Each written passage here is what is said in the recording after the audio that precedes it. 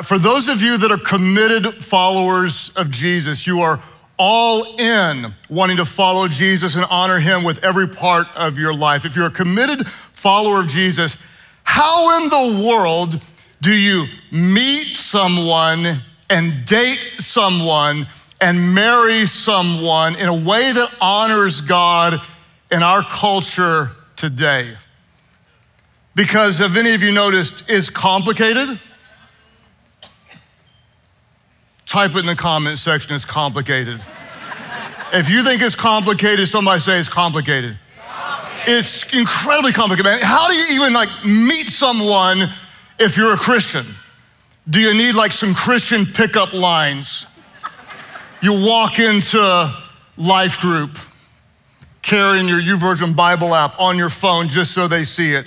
And you walk up to someone and you say, Is it hot in here? Or is that just the Holy Ghost burning inside of you?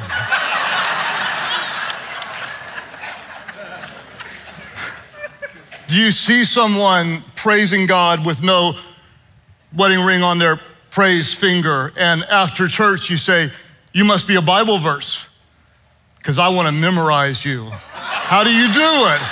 How do you do it? Do you walk up? I've got more. Do you want more? I've got, I've got, I've got, I've got, I've got more. Do you walk up to someone and say, Your name must be Faith because you're the substance of all things I've been hoping for? now, kind of just joking, but like for real, how do you meet? And how do you date? And how do you marry? And how do you honor someone in this very complicated culture? Because if you haven't noticed, uh, the culture's view on marriage is changing right before us every single moment of the day. And in fact, for the first time in our lifetime, the majority of adults are actually not married. And I'll give you some statistics that are quite revealing. I'll give you three of them. Uh, the first one is this In the last five decades, marriage rates in the US have dropped by nearly 60%. Another thought that is uh, sobering is that 63% of men under the age of 30 are choosing to be single. They're choosing. So if you're looking for a man under 30 and going, where are they? They're intentionally sitting on the bench. And if you ask them why, they would say because dating is a hassle. It feels like going on a job interview. We like the freedom. And besides, why buy the cow if the milk is free? Can we be adults in here and talk about what kind they might say? That's kind of what they're thinking along the way. That's where the world is. And then a big issue that we see right now is that 77% of millennials prefer to live with their partner before marriage, and they might argue, you know, why would you buy a car without test driving it first? And this is kind of a mindset today that marriage is not as important. Marriage is not something that the culture values, and so people are delaying marriage or avoiding marriage. And yet, almost everyone you meet still has this craving for that someone special. And so, if they do get married, when they do get married, tragically, about half or so of those marriages end up in divorce. That's heartbreaking and breaks the heart of God. And then perhaps the other half that don't divorce, many of those still struggle. When we look on at the state of marriages today, we'd have to agree that something is not working, yet the culture continues to do what the culture does. And that's why I've always said if you do what most people do, you'll get what most people get.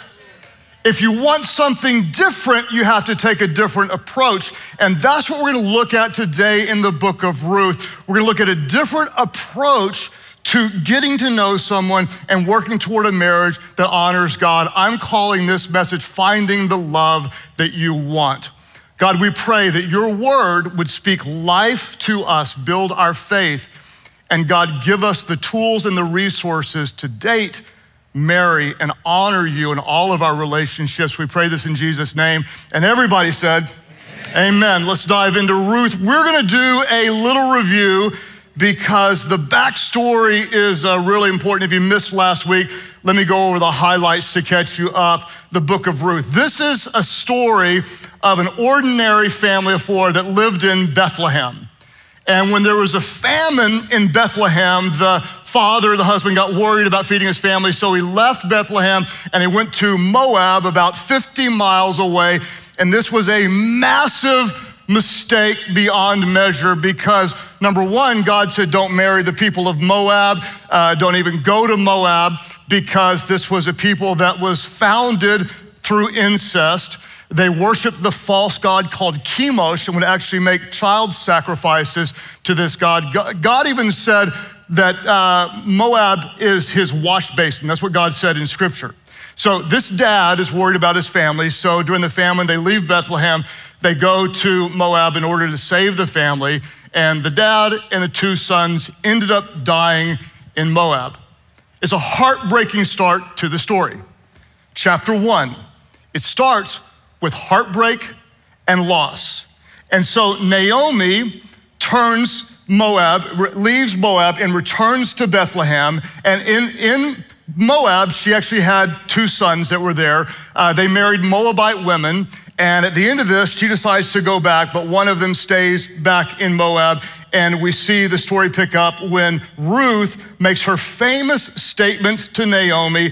Naomi's going back to Bethlehem. She's leaving Moab to go back to Bethlehem. And Ruth, one of the daughters, says, Where you go, I will go. And where you stay, I will stay. Your people will be my people, and your God, my God. She makes the declaration of loyalty and she turns away from the God of Moab. She turns to the God of Bethlehem. This is her moment of salvation, and she becomes new. What happens? Naomi, the mother in law, and Ruth, the new believer, new follower of God, return to Bethlehem. They are homeless, they are hopeless, and they are hurting. Some of you are hurting today. Some of you are in a very painful place today. Chapter one of Ruth starts with heartbreak. The good news is today we're turning the page. We're starting in chapter two.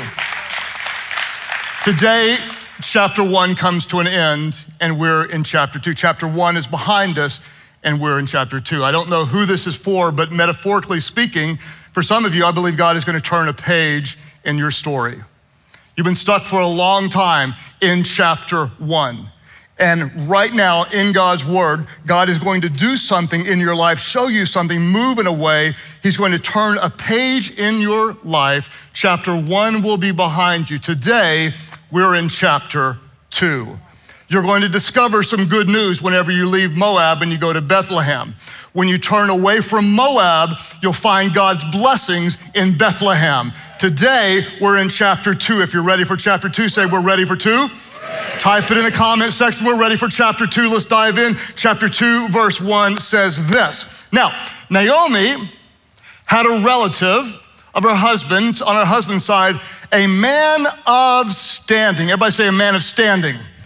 Type that in the comment section, a man of standing, a man of standing. Another version says he was a strong man, a man of standing. He was a strong man from the clan of Elimelech, and his name was Boaz. He is a strong man, he is a man of standing. Now, when it says he was a strong man, this does not necessarily mean he had nice arms and wore a tight fitting t shirt. But as some would say, if the shirt fits, wear it. I don't know. He wasn't necessarily strong in that way. What it means is a strong man or a man of standing means he had internal strength. It means he had character. It means he had integrity. Interestingly enough, in the Hebrew language, it actually means that he was a man of wealth, or even more literally, he was a man of property. He had property. He was a man of standing, which, if you can allow me to play with this for a moment, I would say, ladies, that a man of standing is way better than a man of sitting, right?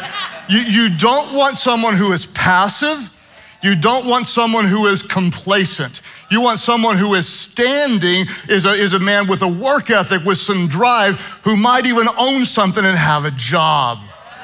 What you want is you want a Boaz. A Boaz is a man of standing. You want a Boaz. Everybody say, I want a Boaz. You want a Boaz. As one country preacher said, he said, You don't want no lazy ass. You sure don't want no broke ass. And you don't want no dumbass, you want a Boaz. You want a Boaz. Can we have a little fun today? Are you okay with that? I said as, A-Z. I said as. As is what I said, in case you're getting all freaked out. Some of you say, You just described my last three boyfriends. You don't want that. You want a Boaz. And we see a little bit about this story. Look at the next verse, says this in verse 2 Ruth the Moabite said to Naomi, let me go to the fields and pick up the leftover grain behind anyone else in whose eyes I find favor. Naomi said to her, Go ahead, my daughter, so you can go, go, go get to work. So Ruth went out and entered a field and began to glean behind the harvesters. Now, you may say, What does that mean to glean? Um, it's very interesting. To glean is something that you can read about in Leviticus 19 when God commanded the Israelites to let the poor follow behind them.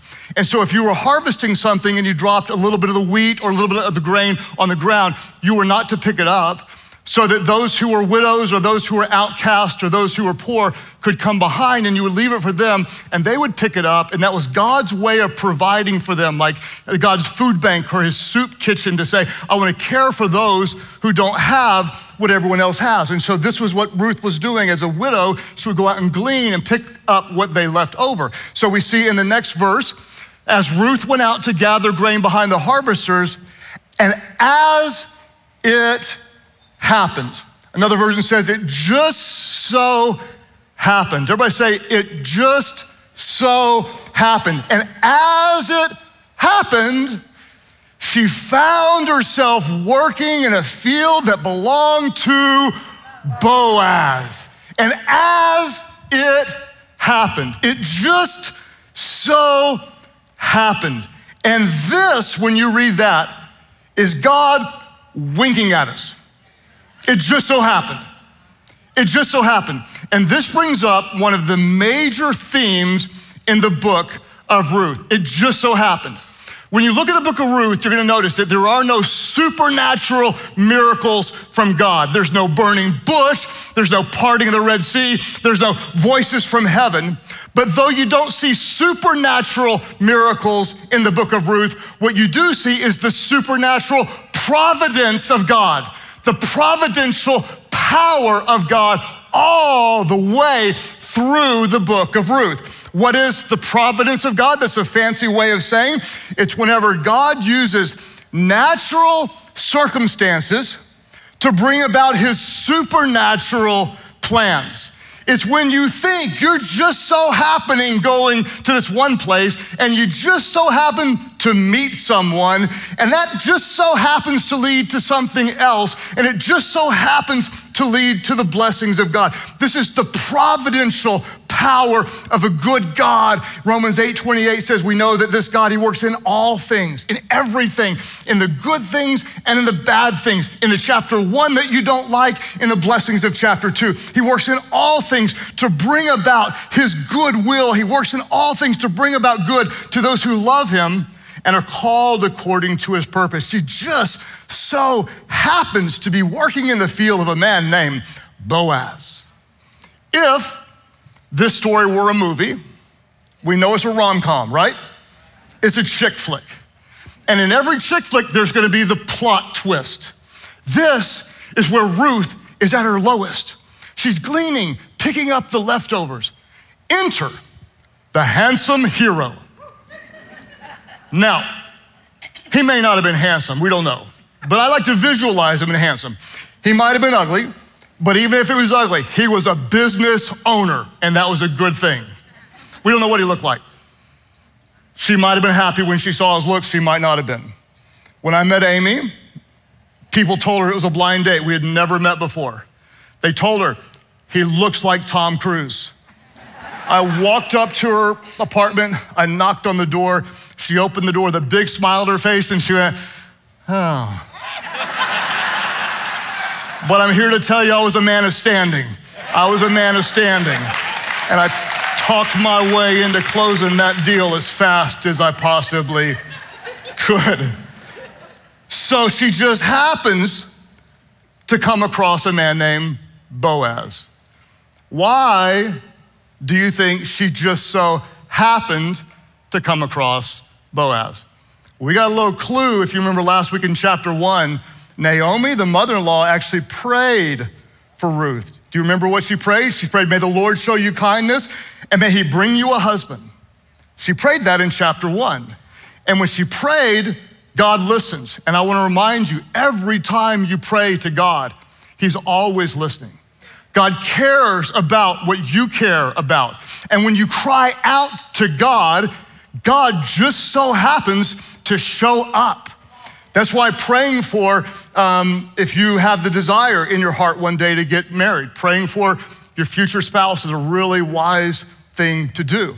Uh, if you're a parent and you want your kids to marry well, it's a wise thing as a parent to pray for your children's future spouse. I'll shoot straight with you, like some of the kids that came around, my kids, we prayed some of men. And we prayed a couple of them out, you know, and because we want to be praying, and when we pray, God just so happens to show up, and God just so happens to do what only He can do. So she's just out working the fields. She's just doing what, she's just being responsible. She's working in the field and she just so happens to meet Boaz. And verse 4 tells us this While she was there, Boaz arrived from Bethlehem and greeted the harvesters. And what did he say to his workers? He said, The Lord be with you. The Lord bless you. What do we see with this guy? We see very clearly he's a leader, he's kind to his people, and the first thing he's talking about is the Lord. The Lord bless you. The Lord bless you. Now, I've said this before, and I made a lot of you mad. So if I haven't made you mad yet, I'll go ahead and try to make you mad right now. If you're a serious disciple of Jesus, and you want to marry someone who is a serious disciple of Jesus, and you meet someone and you don't hear about Jesus or God or church or their faith somewhere relatively early in the conversation, chances are they are not serious about their faith. Oh, but Craig, that's too late, blah, blah, blah. People have their interests, blah, blah, blah. Listen, people tend to talk about first what they value most.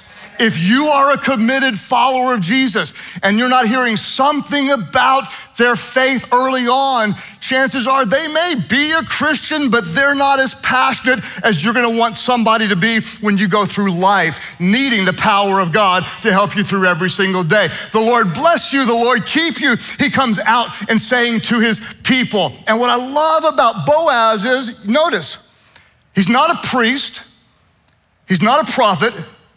He's not a pastor, and yet he has a ministry, right? He's working his mission field. His fields of harvest is also his fields of ministry. And that's a reminder to every single one of you you don't have to be in full time ministry to be in full time ministry. Meaning, you don't have to have some kind of title or work for a nonprofit or go to some other country as a missionary to be a missionary in your school. You don't have to go to overseas to preach the gospel, to let the way you live preach the gospel. So, this is just an ordinary business owner who's letting the light and love of God shine. And while he's serving God, he just so happens to notice Ruth. And what did he notice? Well, to be candid, if she had an online dating profile, it wouldn't have been ideal. Think about it. If you looked her up and if she was honest, because not everybody's honest, everybody has one good picture. One good one. Well, how'd they do that? Well, that was that one good one they took seven years ago. To be, uh, to be candid, if she had an online profile, it wouldn't have been something to be really uh, drawn to. What do we know about her? Well, she was a Moabite, meaning she was from the wrong people group. And she used to worship the wrong God. And she was widowed, which means she was not a virgin, which was a big deal at that time. She was homeless, she was destitute, and she came with, worst of all, a grumpy old mother in law. Her travel partner has some real baggage, right? We could say she had a complicated past. She had a complicated past, but she did not let her past define her. I'm gonna tell you right now don't let your past talk you out of God's plan for your future. Don't let it happen. Some of you go, now, well, I can never because I whatever. I had a complicated past before I was a Christian and lived in the sinful lifestyle. Now oh, that disqualifies me. Actually, might prepare me to speak to someone who's there to say, if God can redeem me, he can do the same thing for you. Don't let your past talk you out of what God wants to do in your present and in your future. So let's look at what happened as they're going to meet. Uh, Boaz asked his foreman, Hey, I see, that, I, see, I see that girl over there. Who's that young woman over there? Who does she belong to? That was the um, old version of creeping on somebody's profile. That's what he's doing right now. He's gonna, he's gonna find out, I want some more details. And the foreman said, She's the young woman from Moab who came back with Naomi. She asked me this morning if she could gather grain behind the harvesters. And this woman, she's been hard at work ever since.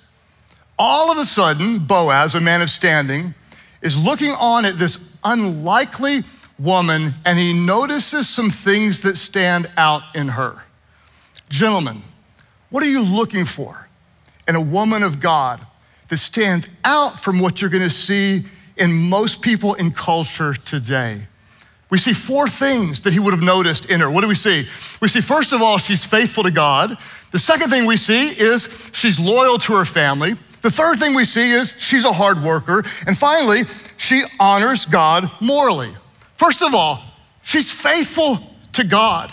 She turned away from her people and the false God to serve the God of Israel. She's loyal to her family. The, the other one, Orpah, she stayed back in Moab. But Ruth made the sacrificial decision to stay with Naomi and go to Bethlehem. She's a hard worker. She's not waiting around for someone to meet her needs. She's not crying out. She's a victim. She's up early, gleaning in the fields. And finally, she honors God morally. How do we know this? Because almost every widow during that time was forced into prostitution in order to pay the bills, and she refuses to do what most do, and she's out working hard, sweating in the heat of the day. She honors God morally. We see some qualities that stand out. If you want something different, you want to be something different. You want to honor God. You want to be faithful to people. You want to be a hard worker and you want to honor God by living a life that's pleasing to God morally. And the text goes on to tell us this. Scripture says, Boaz went over and said to Ruth, Listen, my daughter, stay right here with us when you gather grain. Now, watch this. He says, Don't go to any other fields. I've warned the young men not to treat you roughly. In other words, I'm gonna protect them from being inappropriate to you. And then watch as he serves her. He said, And when you're thirsty, help yourself to the water that they have drawn from the well. He's protecting her, he's caring for her needs. And then what does he do next? The next thing he does is he prays for her. He prays for her in verse 12. And this is what he prays May the Lord repay you for what you've done. May you be richly rewarded by the Lord, the God of Israel, under whose wings you have come to take refuge. And all of a sudden, we see some qualities that stand out in Boaz. What are the four qualities that stand out in Boaz? Let's look at them. Number one, he honors her. Number two, he protects her. Number three, he provides for her. And number four, he prays for her. He honors her. Ladies, Sounds old fashioned, and it is. You want someone who opens the door for you and lets you go first and takes you to a restaurant that you have to tip and pays the bill. He protects her. He, he's, he's gonna protect her from ungodly men.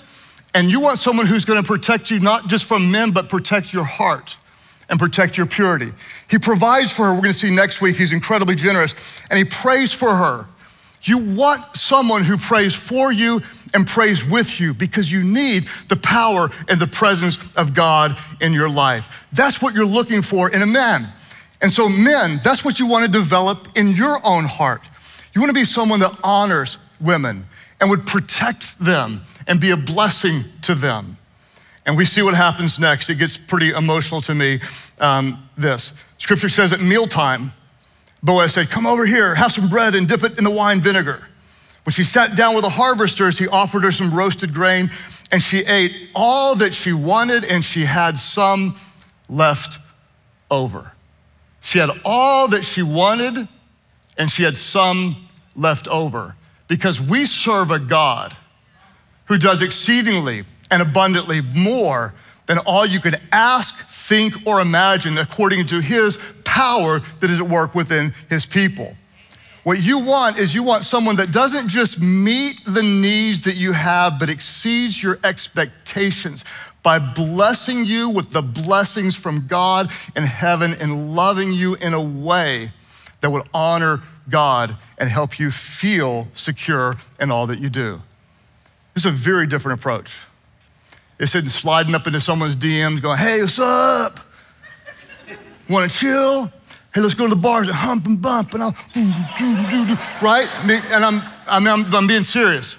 Because this is a very, very different approach.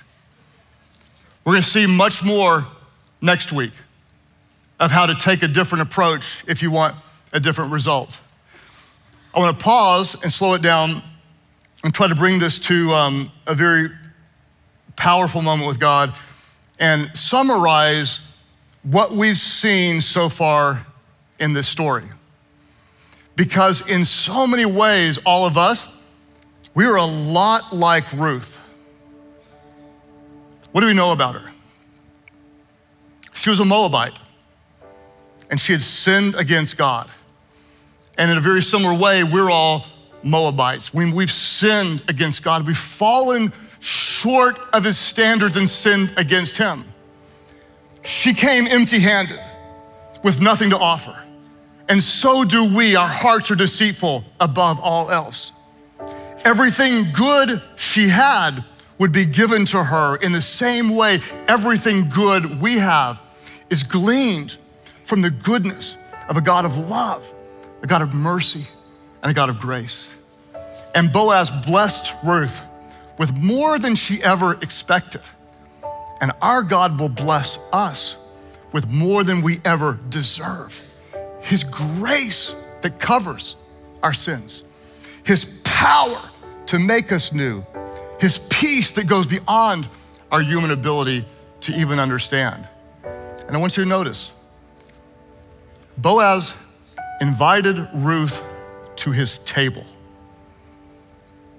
in the same way that Jesus invites us to his table, where he offers us the bread and the wine, his body and his blood,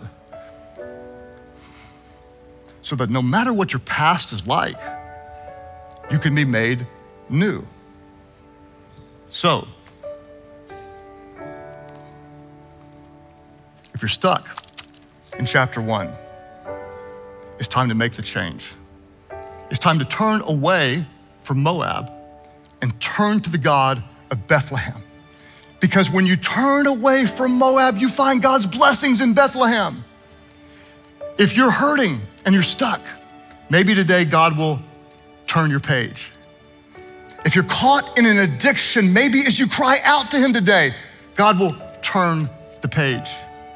For those of you that are losing hope, maybe God will turn the page, a new chapter.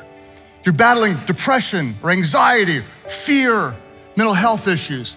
Maybe today you turn into chapter two.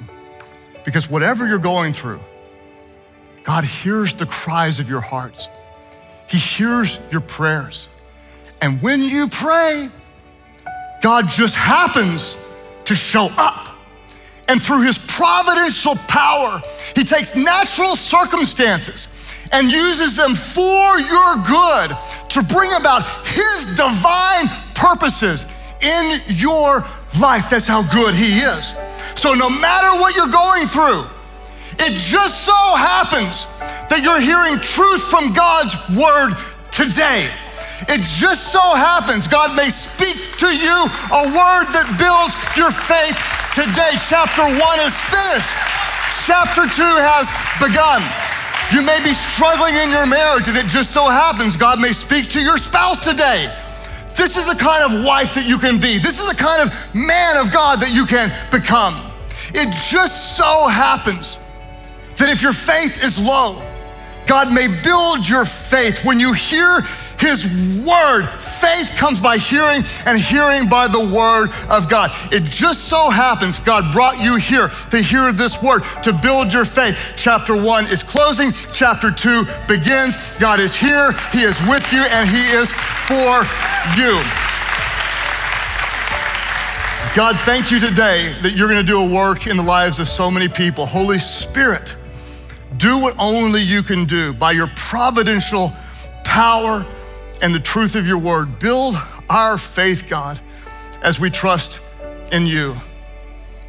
With everybody eyes closed, nobody looking around, I wonder how many of you are stuck somewhere in a chapter one right now and you're ready for chapter two. Would you lift up your hands? Lift up your hands and say, Yes, I'm ready for God to do something new. I'm ready for God to do, I need a miracle from God. Lift up your hands. I need a touch from God. I'm crying out to God. Father, I pray today that for those that are stuck in chapter one, that your Holy Spirit would do a work. If you're online, just type in the comment section, I'm ready for chapter two. God, we thank you that you make all things new. That even if we're stuck in a chapter that we don't like, you can still work in that chapter to bring about good by faith, God. We ask that you work, God, that you move, that by your providential power, you would work in the very things that we may not even want to bring about something good. Build our faith, God, as we trust in you today. As you keep praying today, um, some of you, you're about to get the new chapter that you've always wanted. You might feel very stuck in Moab. You feel stuck and dead in your sins. Let me just speak very, very clearly because um, sin is not a popular word today at all. Um, it is a word that is um, very true to all of us. It's in scripture that every single one of us, we've all sinned. What does that mean? That just means that we've fallen way, way short of God's standards. And, and you know it, you feel bad for some things you've done. There's a part of you, if you're honest, you're gonna, go, yeah, I've done some things that are wrong. And so when we think about God, we wonder, like, you know, how do we qualify for Him after we've done so many things that are wrong? And the amazing thing is, we just can't on our own. And in His love and mercy, and we're gonna find as we go through this story, out of the brokenness of a Moabite woman comes the lineage of our Savior, Jesus Christ. Who is Jesus? He is the Son of God who never sinned, who is perfect in every single way. Jesus, the Son of God, invites us to his table. We don't deserve to be there, but he gives us the bread and, and, and the wine. It's his body that was broken for us, it was his blood that was shed for us on a cross. He died and rose again so that we could be forgiven. Whoever you are today, if you know that you're, you're not walking with God, even when I talk about it and say, hey, if you're a true disciple of Jesus, there are some of you like me, you grew up kind of like kind of believing in God, kind of going to church, but you're not really walking with Him. Let's just call it what it is. You're really not. You're really not. What are we going to do today? We're going to step out of Moab. We're going to step into Bethlehem. We're going to step away from our sin. We're going to say, Jesus, we want to trust you as Lord. When you call on Him, He will hear your prayers. He'll forgive every sin, and you start a new chapter. All the old is gone, and everything becomes new. You belong to Him wherever you're watching from today. You just so happen to hear this message because your life has just so happened to be changed. I want his forgiveness. I need his grace. Today I step away from my sin and I call on Jesus. I call on him. I make him my Lord. I make him my Savior. If that's you today, you know you need his salvation. Step away from Moab and step toward Bethlehem and say, Yes, Jesus, I give you my life. That's your prayer. Lift your hands high right now. All over the place, lift them up high and say, Yes, right over here. Praise God for you. Right back here, others today saying, Yes. That's my prayer right up here in this section. Say, Yes, Jesus, I'm surrendering my life to you. Right back over here. Come on, church. Let's thank God for what He's doing. Others today say, I want His grace. Jesus, I need you. I surrender to you. Those of you online, type it in the comment section. I am surrendering my life to Jesus. And as you do, we're all going to pray. Nobody prays alone. Pray, Heavenly Father, forgive all of my sins. Jesus, save me. Fill me with your spirit so I could know you and I could serve you and I could follow you for the rest of my life. My life is not my own. I give it all to you. Thank you for new life. I'm leaving Moab. I'm coming to Bethlehem. I give you my life. In Jesus' name I pray. Could somebody celebrate big? Welcome those born into the family. Come on, church. Come on, church. Come on, church. Praise God. Thank God. Thank God. Thank God.